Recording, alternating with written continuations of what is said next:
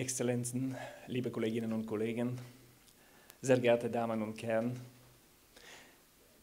Es ist meine Freude, zum zweiten Mal meinen herzlichen Dank dem Gastgeber, Mr. Mark Dongfield, für for the hosting this event in the Institute for Cultural Diplomacy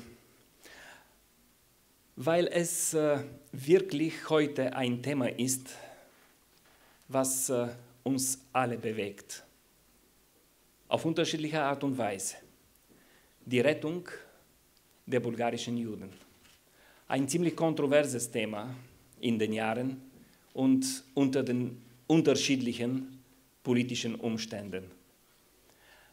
Aber ich habe das Glück, dass ich heute nicht tief in das Thema eingreifen muss, weil wir sehr interessante Gesprächspartner hier haben. Und das werden Sie in dem zweiten Teil genießen. Es ist extra für diese Vorstellung des Films Die Optimisten gerade der Filmmacher, äh, Mr. Jackie Conforti aus Amerika, direkt nach Berlin geflogen und ich bin sehr froh und dankbar ihm dass er sich gerade an uns anschließen kann. Wir waren gerade im Gespräch vorher. Er ist ein äh, hervorragender Gesprächspartner, ein sehr offener Mann und ich habe das Gespräch genossen. Wahrscheinlich werden Sie es noch tiefer dies zum Einspüren bekommen nach äh, der Präsentation seines Films. Ich freue mich sehr, dass wir auch diesmal Vertreter der jüdischen Gemeinde zu Berlin äh, bei uns zu Gast haben. Auch Kollegen von den Botschaften. Und ich sage es deswegen auch, wahrscheinlich wir als äh, einfache Bürger brauchen öfters mehr Zeit dafür, dass wir in die Details von den verschiedenen Ereignissen in der Geschichte kommen können. Äh, die Politik hat immer einen bestimmten Einfluss auf die Geschichte, auf die Darstellung oder Vorstellung der Ereignisse.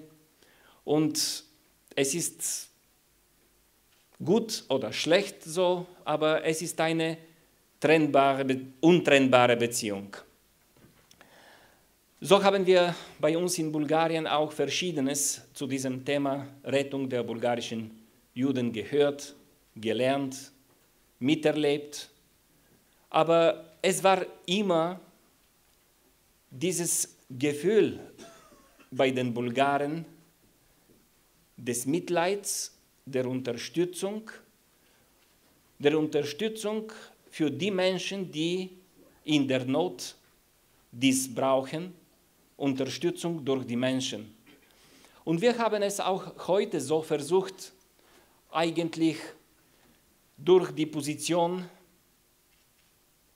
von Jackie Conforti und äh, seinen Gesprächspartner in dem Film und durch zwei hervorragende Historiker, deutscherseits Professor Dr. Stefan Tröbst sein Name ist schon ein Begriff.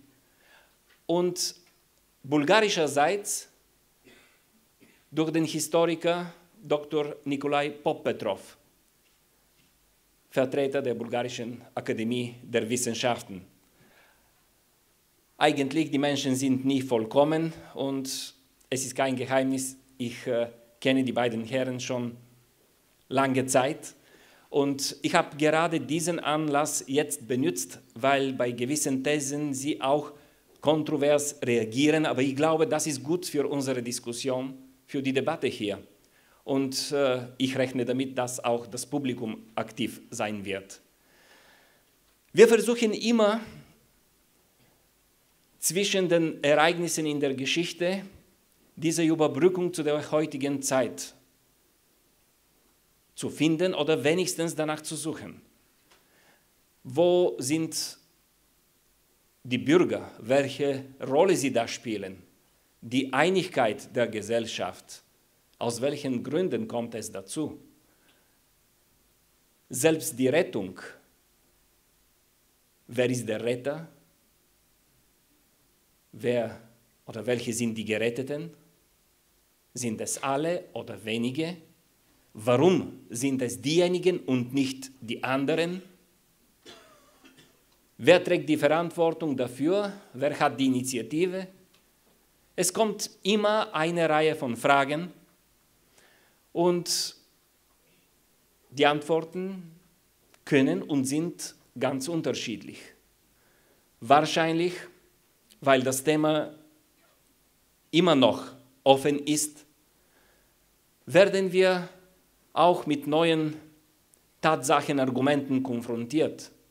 Und wahrscheinlich ein jeder von uns für sich selbst wird auch die Aufklärung für die Ereignisse in der Zeitspanne finden.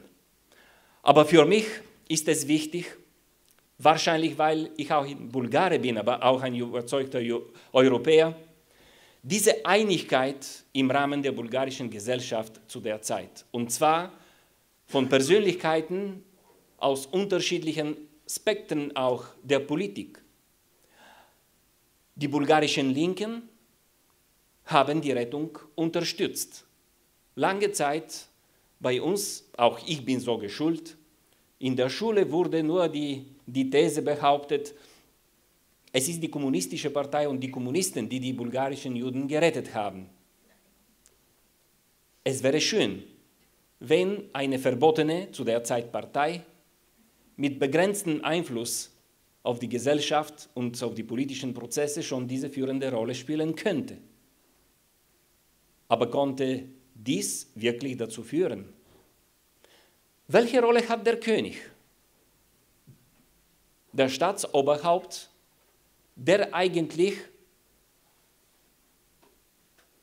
seinen Staat als äh, Verbündeter vom Dritten Reich da hatte. Wie war die Frage der Rettung der bulgarischen Juden in Beziehung zu der Frage die Rettung Bulgariens selbst unter den Umständen von dieser Zeit? Wie konnte das Parlament und die Abgeordneten fungieren? Welche Rolle hatte die, die Regierung, die eigentlich die Initiative für die Annahme auch bulgarischerseits einer Reihe von Verordnungen und Gesetzen, die gleichzusetzen sind mit den entsprechenden NS-Gesetze bei der Verfolgung der jüdischen Bevölkerung. Und es sind auch Handlungen in unserem Staat, in Bulgarien, vorhanden infolge von der Akzeptanz von diesen Gesetzen. Ist es ein Wunder? Ist es ein Zufall? Oder dieses Phänomen ist zu verdanken gerade der Ro Rolle von einer Gruppe von bulgarischen Staatsbürgern, auch durch die Unterstützung der bulgarischen orthodoxen Kirche. Es ist wahrscheinlich schwierig, dies zu beantworten. Bevor ich hierher kam, und zwar mit einer großen Freude und Vergnügen, komme ich wieder zu diesem Institut, weil auch seine Aufgabe ist, diese kulturellen Beziehungen zwischen Europa und Amerika, zwischen den unterschiedlichen Persönlichkeiten aus den verschiedenen Kontinenten zu pflegen. Und deswegen haben wir auch diese Institution als Ort, wo wir unsere Veranstaltung organisieren, äh, ausgewählt. Und ich glaube, es ist richtig. Nicht nur wegen der kulturellen Beziehungen, sondern, und das ist unser Hauptthema, wegen den wichtigsten menschlichen Werten. Das, was uns verbindet. Das, was ein gutes Beispiel und Muster für uns in der bürgerlichen Gesellschaft sein kann. Das ist das Wichtige. Sie werden immer bei der Erörterung eines jeden politischen Ereignisses, aber auch unter den Beziehungen, unter den Menschen, immer was Negatives und was Positives finden. Aber Wir treffen die Wahl für unsere persönliche Entscheidung. Was werde ich in meinem Leben unterstützen? Bin ich in der Lage, das Gute von dem Bösen zu trennen und mich, abgesehen von den schwierigen Umständen, für die Unterstützung des Guten zu entscheiden? Das ist die aktive Rolle eines Bürgers, auch gegenwärtig. Und wenn wir die Bulgaren ein Element unseres Stolzes auch mit der Rettung der bulgarischen Juden verbinden, ich glaube, es ist mit Recht. Parallel dazu, und ich erwähne es immer bei meinen Vorträgen, wir gedenken auch die Deportation von den Juden in den Gebieten westlich von Bulgarien, in Mazedonien und im ägäischen Thrakien, die nicht gerettet wurden. Welche sind die Gründe, die Gründe und die Ursachen dafür? Ich überlasse die Aufgabe nicht deswegen, weil ich ein Diplomat bin, aber weil ich es auch für gerecht finde, den Historikern. Wir brauchen noch Zeit dafür. Wir brauchen weitere Argumente und Tatsachen, um dies richtig und objektiv aufklären zu können. Und äh, schließlich, wahrscheinlich brauchen wir auch noch ein bisschen Zeit für die Evolution auch unseres Denkens. Begriffe wie Toleranz sind gut zu gebrauchen, aber inwieweit wir auch heutzutage tolerant sind, wie reagieren wir spontan auf einige Ereignisse, die eigentlich nur eine Folge der unterschiedlichen Kulturen und Mentalitäten sind. Es sind Fragen, mit denen wir jeden Tag konfrontiert sind. Aber ich glaube, solche Phänomene in der Geschichte geben immer den guten Grund dafür, dass wir uns überlegen, welche Rolle wir wieder als Bürger aktiv in unserer Gesellschaft spielen können. Und das ist die unsere Verantwortung.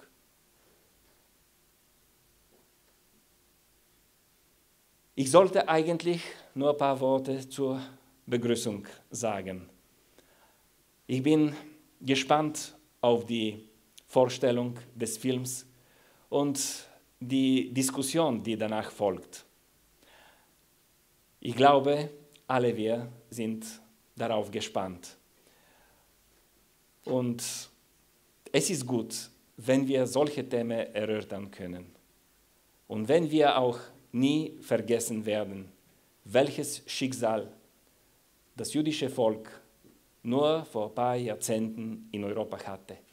Und es ist unsere Verantwortung, dass es nie wieder dazu kommt und dass wir unsere Gegenwart selbst in die Hände nehmen und dies gestalten können, auch aufgrund der Erfahrung von der Vergangenheit. Vielen herzlichen Dank an Sie alle für das Interesse für das heutige Ereignis. Dankeschön.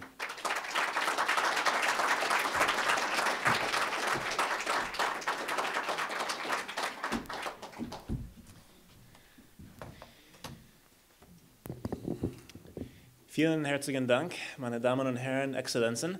Erstmal möchte ich versuchen, etwas zu sagen, die ich gelernt gestern habe. Uh, Dober večer, dami e gospoda. Uh, Uh, guten Abend, meine Damen und Herren. Leider spreche ich keine Bulgarisch, aber ich versuche. Uh, wir haben eigentlich viele gute Partner in Bulgarien, uh, unter anderem einige Diplomaten in Bulgarien und in den USA und in Deutschland. So wir freuen uns sehr. Erstmal, dass wir sind Partner mit der Botschaft von Bulgarien. Und sehr wichtig für uns auch mit dieser Thema ist genau der, der, der Thema am Ende Ihrer Begrüßung Verantwortung. Äh, denn sind, welche Verantwortung haben wir heute als Bürger? Äh, denn sind, wenn man sieht in den europäischen Raum, wenn man äh, stellt die Frage, ähm, zum Beispiel Mass Atrocities, auch ähm, Menschenrechten, das ist natürlich sehr relevant heute. Ist relevant heute, wenn man guckt zum Beispiel Syrien und zum Beispiel viele die, die sehr schlimmen Dinge, die passieren im Welt. Das ist eine sehr relevante Frage. Und so ich denke, heute haben wir die Chance, ein bisschen in der Vergangenheit zu schauen. Etwas, wo Bulgar Bulgarien sehr stolz sein kann. Und ich denke, es ist sehr wichtig, erstmal die Vergangenheit zu verstehen. Äh, aber insbesondere auch für uns als Institut. Was können wir lernen, das auch heute äh, angewendet sein kann? Äh, welche Verantwortung haben wir äh, als Weltbürger heute? Äh, ist das genug, nur zu sorgen über uns und unsere Familie? Oder müssen wir auch sorgen über unsere Nachbarn sein? Äh, und Nachbar wirklich auch in der größten Sinne des Wortes. So ich denke, der Thema ist sehr relevant heute und sehr wichtig. deshalb für uns ist es auch eine große Ehre, dass wir der, der Gastgeber sein können. Und wir, wir danken auch der Botschafter und der Botschaft, dass wir dürfen auch Gastgeber sein. ich möchte jetzt kurz begrüßen äh, der, der nächste Redner, der wird auch ein Grußwort machen. Er ist der Vorsitzende der Repräsentantenversammlung der jüdischen Gemeinde zu Berlin, Herr Michael Rosenzweig. So, ich würde Sie bitten, für eine große Begrüßung, eine große Willkommen heißen zu dürfen. Herr Michael Rosenzweig. Dankeschön.